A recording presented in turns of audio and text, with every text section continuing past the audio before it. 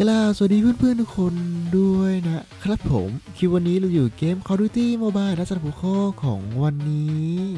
โดยในตอนนี้ผมตัวเกมก็มีการอัปเดตตัว Score Stick ตัวใหม่ล่าสุดกับรถ Shock RC เพราะฉะนั้นคลิปในวันนี้ผมเราจะทำการรีวิวรถ Shock RC แบบละเอียดถึงการใช้งาน และรูปแบบการใช้งานต่างๆ ของตัว Score Stick ใหม่นี้ว่ามันจะโหดและโกงมากแค่ไหน สำหรับวิธีการปลดล็อก Score Stick ตัวใหม่นี้ครับผม เราเนี่ยสามารถปลดล็อกได้ใน battle pass season ใหม่ล่าสุดในเลเวลที่ 25 เป็นแบบสายฟรีนั่นเท่ากับว่าผู้เล่นที่เป็นสายฟรีครับผมก็สามารถปลดล็อกเจ้า Scorestreak ตัวนี้ได้ขอเพียงแค่เราเนี่ยขยันในการทำ quest battle pass เท่านั้นเอง โดยสำหรับความสามารถของเจ้ารถ RC ตัวนี้ผม แต้มในการเรียกใช้งานเนี่ยจะใช้ทั้งหมด 350 แต้ม ก็ถือว่าเป็นแต้มที่ใช้งานค่อนข้างน้อย ผมสามารถกดใช้งานได้ค่อนข้างบ่อย โดยในเรื่องของการใช้งานเนี่ยเมื่อกดปุ๊บจะเป็นการกดใช้งานของตัวรถ RC ผมแล้วรถ RC เนี่ยจะวิ่งไปหาศัตรูที่อยู่ใกล้ที่สุดพร้อมทั้งทำให้ศัตรูเนี่ยติดสถานะอัมพาตชั่วคราวและสำหรับข้อมูลเพิ่มเติมเมื่อเรากดใช้งานไปแล้วผม แล้วรถวิ่งไปชนศัตรูเนี่ยก็จะเกิด damage ประมาณ 2 หลอดเลือด แต่ถ้าเกิดว่าเราเนี่ยไม่สังหารศัตรูเนี่ยพอผ่านไประยะเวลาหนึ่งเนี่ยตัวรถเนี่ยก็จะหายไปผมและศัตรูเนี่ยก็จะกลับมา re เลือดเท่าเดิมเพราะฉะนั้นเวลาใช้งานเนี่ยก็อย่าลืมยิงศัตรูให้ตายด้วยนะ และสำหรับสิ่งที่ต้องระวังของผมก็คือเมื่อเรากดใช้งาน Score Stick ตัวนี้แล้วเนี่ยถ้าเกิดว่าศัตรูเห็นเนี่ยศัตรูก็สามารถที่จะยิงทำลายได้ผม แต่ความถึกของตัวรถเนี่ยก็ต้องยอมรับว่าถึกในระดับหนึ่งเลยนะ ส่วนใหญ่เนี่ยจะยิงกันไม่ค่อยทัน และสิ่งที่ต้องระวังอีกอย่างหนึ่งของผมก็คือตัวรถเนี่ยจะสามารถสตันได้เพียงแค่ 1 คนต่อ 1 คันเท่านั้น เมื่อเราใช้งานจนครบเนี่ยตัวรถก็จะหายไปเพราะฉะนั้นเวลาเจอศัตรูที่มาพร้อมกันเยอะๆเนี่ยตัวรถเนี่ยก็ค่อนข้างที่จะเสียเปรียบนิดนึงนะก็ต้องระวังในเรื่องของการใช้งานในกรณีเจอศัตรูในปริมาณเยอะๆ และอีกหนึ่งคำถามผมที่หลายคนเนี่ยอยากรู้แน่นอนก็คือเจ้าตัวของรถช็อค RC เนี่ยสามารถใช้กับเจ้าตัว Goliath ได้หรือเปล่า ก็มาลองทดสอบกันนะปล่อยไปแล้วผมสำหรับตัวรถแต่ปรากฏว่าตัวรถเนี่ยไม่วิ่งเข้าไปหาเจ้า Goliath นะเพราะฉะนั้นในเรื่องของการใช้งานเนี่ยคอนเฟิร์มเลยว่าเจ้ารถ RC Shock เนี่ยก็ไม่สามารถใช้งานกับ Goliath ได้นั่นเองนะ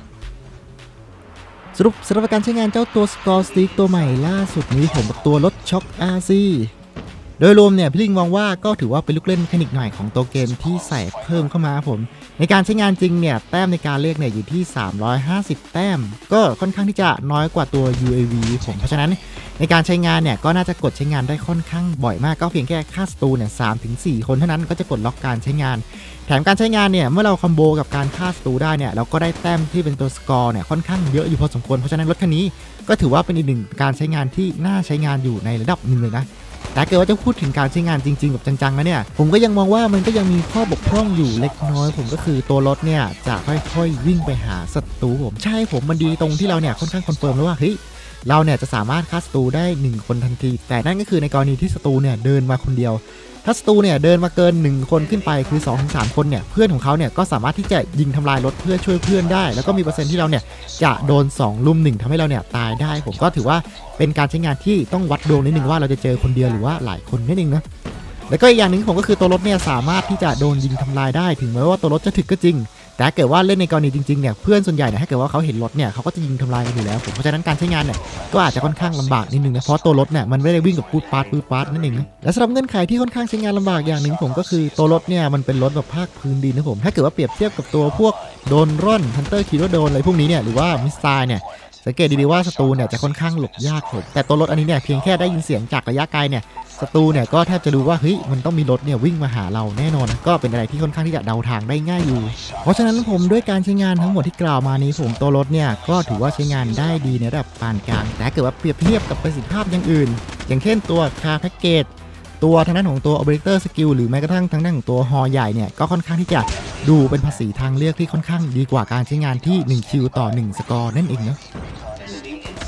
แต่ทางกลับกันนะผม ถ้าเกิดว่าเราเนี่ยปรับปรุงการใช้งานของตัว perk และสไตล์การเล่นอีกนิดนึงเนี่ย เจ้าตัวรถของ Shock RC ผมก็ถือว่าเป็นอีกหนึ่ง scorestreak ที่น่าใช้งานมาก โดยเฉพาะสำหรับคนที่ชอบเล่นสายแคมป์ต่างๆ แล้วก็เอาอุปกรณ์ scorestreak ที่มีแต้มน้อยไปเนี่ย ก็บอกเลยว่าการใช้งานของเจ้าตัวรถคันนี้เนี่ยเราสามารถที่จะปล่อยของที่เป็นพวก UAV support เพื่อได้รัวๆ ปล่อยรถไปสกัดตำแหน่งของศัตรูได้รัวๆทำให้ทีมของเราเนี่ยได้เปรียบมากในการแข่งขันครับผมเพราะฉะนั้นเนี่ยในรูปแบบของการเล่นก็อยู่ที่สไตล์ของแต่ละคนนะเพราะว่าจากในภาพนี้เนี่ยพี่ลิงก็เล่นสายแคมป์เก็บ score kill support เพื่อนไปเลยผมจนกระทั่งเนี่ยสามารถกดนิวเคลียร์ได้นั่นเองเนี่ยก็ถือว่าเป็นอุปกรณ์เสริมที่อยู่ที่ step การใช้งานของแต่ละคนด้วยนะ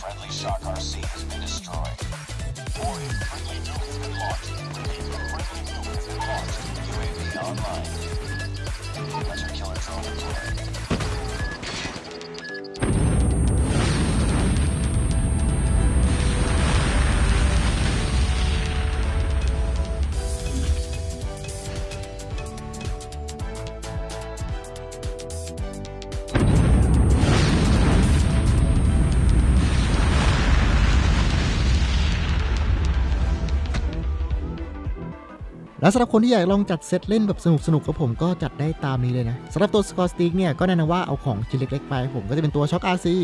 ตัว UAV แล้วก็ตัว Hunter k i l o d o นผมเพราะเวลาเรา killstreak ได้เนี่ยตัวรถเนี่ยมันจะวนกลับมาตัวช็อค RC ได้เร็วขึ้นนั่นเองนะ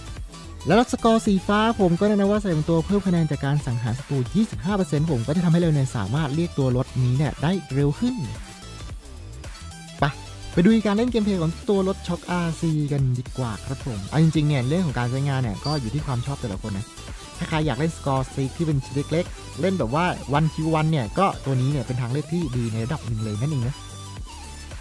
มามาจะเจอคนหรือเปล่า จะเจอคนหรือเปล่า ใครจะขึ้นมาไหม ไม่ขึ้นเหรอ ไม่ขึ้นเราออกซ้ายนะครับ ไม่มีคน ไปไหนกันหมดออกหน้าปั๊บปั๊บผมขอร้าช็อตหน่อยนะครับ จังหวะนี้สวยงาม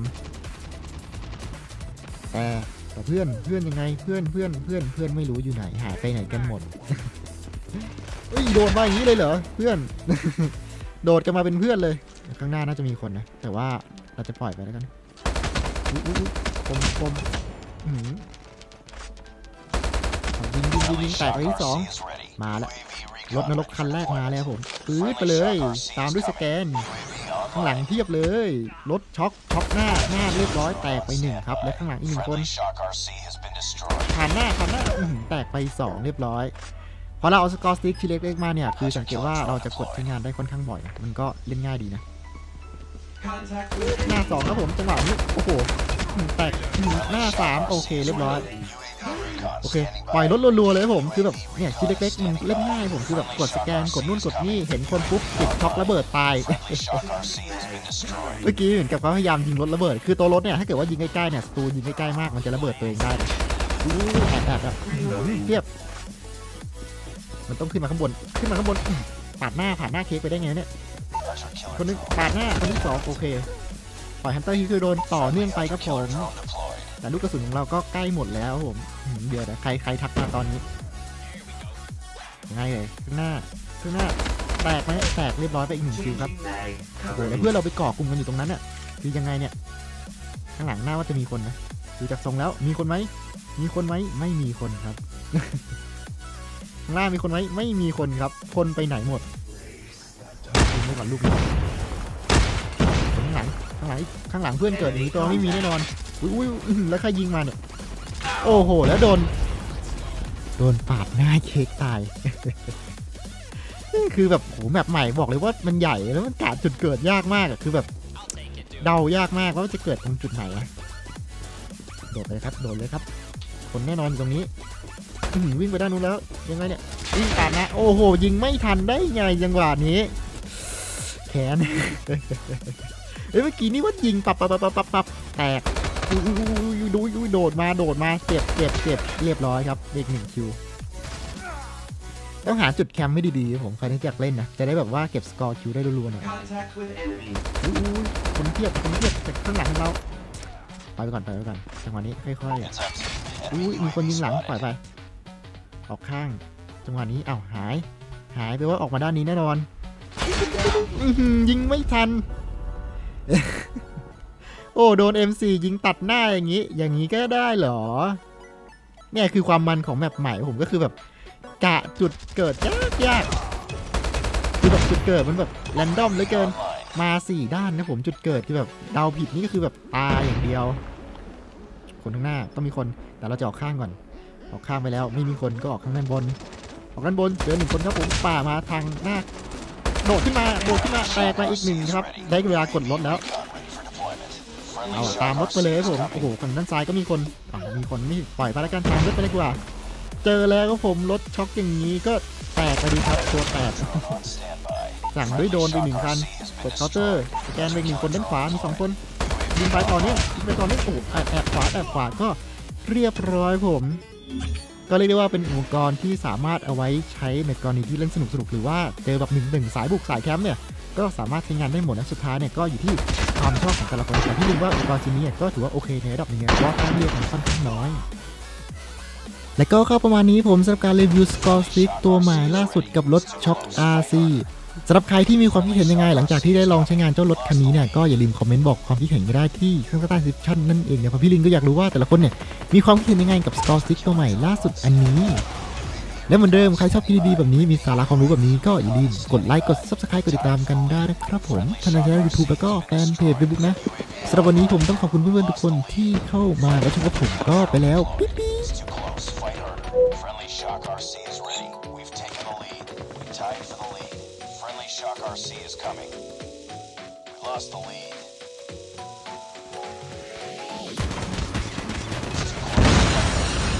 Shock RC has been destroyed. Lost the lead. Back up.